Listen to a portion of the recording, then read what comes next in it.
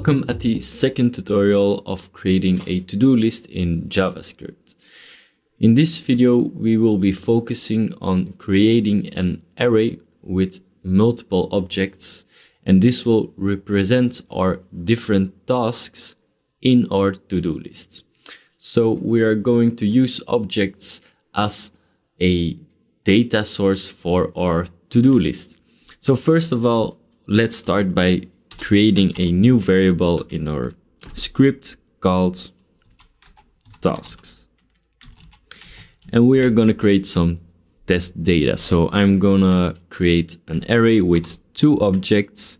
Um, the task can be coding and checked is false and the second object can be task. Javascript and checked is equal to true. All right so these two objects represent two uh, tasks in our to-do list. And this is the way how we are going to save our tasks also in our uh, backend of our application. So I started with some test data and we are going to use this data to represent some tasks in our to-do list. All right, so let's start by showing our tasks in our HTML. I'm going to create a new function, show tasks. Um, and in this function, I will actually do quite the same than we did here, but only not just for one task. We want every task in our array to be appended to our unordered list. So we're going to start with a for each um, because I want to loop through all my tasks. And I am going to um, say this is a single task. So now if I print a task, this should print every individual task. So let's test this in our console. Um, yeah, we have to still execute this function. So I'm going to say this dot uh, show tasks. And there we have it. Our tasks are shown separately. Um, so now what are we going to do is getting the values out of it and appending them to our HTML. So first of all, let's copy this piece of code because we want to clone our template again. We want to change the text of the template and we want to change um, the inputs. So we're going to search the inputs, the checkbox.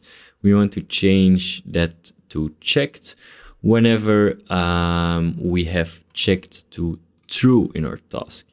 So to get the value of our task, maybe this is not such a good name because we already have task here. I'm going to change this to text Yes, so um, when I print here task.text, we get the text of our tasks.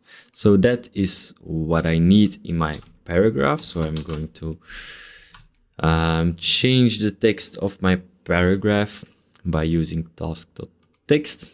And um, for the input, I want uh, the checkbox to be checked if uh, the property checked is uh, true. So if task dot uh, checked, if it's true, then this will be executed. Then I'm going to change the inputs attribute checked to true.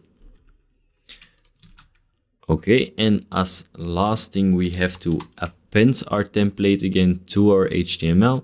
So this is also the same. Append our item to the to-dos and like you can see the different tasks are added. Uh, we're only missing our class. There's no line through here, so there needs to be an extra line. Uh, we need to add uh, is done to the list item itself. Uh, the list item itself should be the variable template. So let's um, try to add the class. Um, for to be sure, let's print what template is. So yeah, this is our list item. So we need to add a class here, template, add class is done. All right, so now it has a line through. Um, so this is the way that we can show to-do items when we have some array of objects with the value and the properties of the different tasks. So this is great. So because we can now load data from an array, we can load data from a database. Um, but first things first, we also have to update our functions here because whenever I add a task, it will be appended to um, the list here, but it's not added to our array. So I want all the tasks to be linked to the data array. So whenever I add a task, I'm going to push a new object to our uh, array. So we need a new array, let's say const um, new task is an object with a text equal to the task and checked is always false in the beginning. So we are going to append this new task to our tasks array, push our new task. So now this task will be appended at the end of the array every time we fill in our or fill in our form. So let we can test this by printing it maybe um, this dot task with an s. Um, for example yeah or just something else. One two three add. And now you can see we have three tasks. One is coding one is javascript and the last was one two three so this function is now updated. Delete tasks. We need to um, find our task in our array. So if i delete the second one i want the second item of the array to be removed. So um, we're going to use the index function of jQuery here and I think we're going to use the splice function to remove one item um, of an array. So first of all, we need um, the index. So I'm going to split this code in two. We have our task like so, and we will say task remove. So this code remains the same, but I also want a index which is equal to the task index.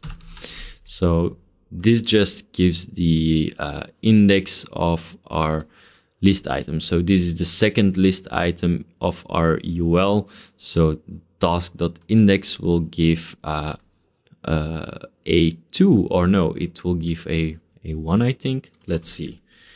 Index. Whenever I delete one, yeah, it will give a 1. So this is perfect um, because it matches with our array. Yeah? The, the, the second item here will delete the second item in our array by using this uh, index number. So we're going to call uh, our tasks and we will use the splice function. Um, yeah, and normally we first gave a start number like we can see a start number. So we want it to be at index and then uh, delete count. So how many we want to delete at this position. So index and we just want to delete one value. We want to delete one task at this position of the array um all right let's see. Let's print our array. This this dot tasks yeah. So i add one one two three and i remove one and we have coding javascript. I remove this one. We have coding one two three. So all right this seems to work great. Um up next is our toggle done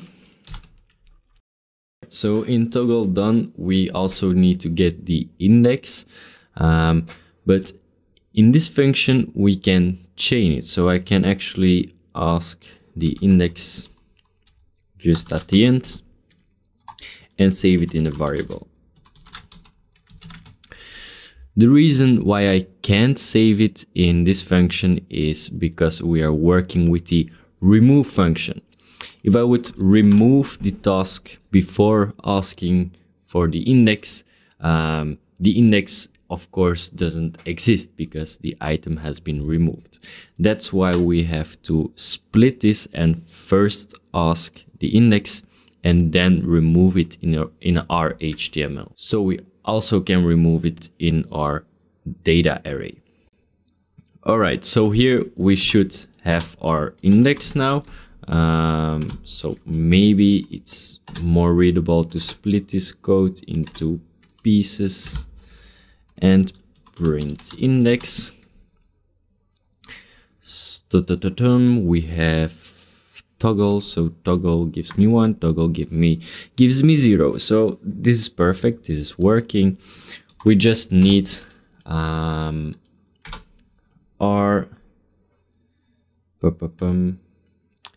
I see that our checkboxes aren't working anymore. So I think this has to do with our prevent default functions because the click on our label won't uh, trigger anything anymore. So let, let's see if this is our problem. Yeah, so we need to find another workaround. Um, I'm just going to change the uh, value of the checked attribute of our in inputs every time we, we click it. So let's select our um, e.current target, which is our label. And I'm going to find a input and I want the property or attribute I don't know which the modern function is, but they kind of do the same. I think the property is the, the modern one. Um, so I want to get the checked property. Let's save this in a variable is checked is equal to, and let's print this, is checked.